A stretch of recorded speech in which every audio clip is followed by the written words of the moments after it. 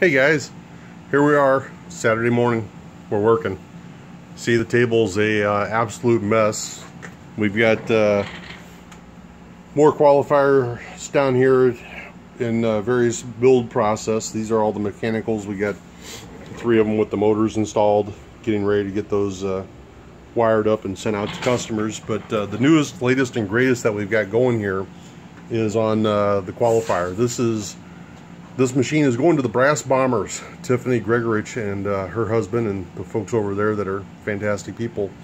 Um, but we finally got our, our 3D uh, printed cover on here and uh, we've got our PC board inside with self-protecting circuitry and uh, LEDs up on the top to let you know what's going on and a, a fancy reset button.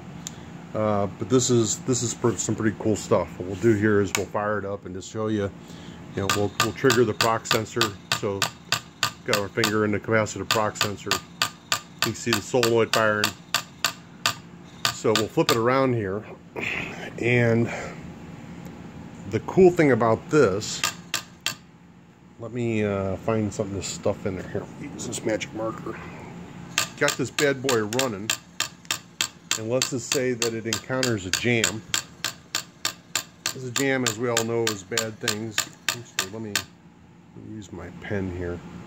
Here, how about that? We'll use a case.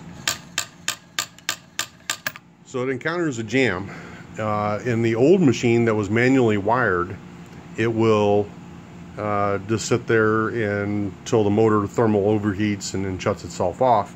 But as you can see here now, what we've got is uh, after four seconds of jamming, the machine turns itself off. So then once you've cleared the jam, you come up here, you hit the reset button, and the machine continues on.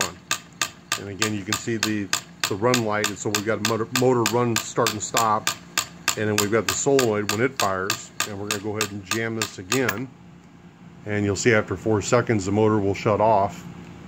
And at that point, we can manually manipulate it and it fires right up. So there's multiple ways to, to restart it, but uh, nonetheless, it's all uh, self-protecting circuitry now to where nothing can burn up, which is our intent.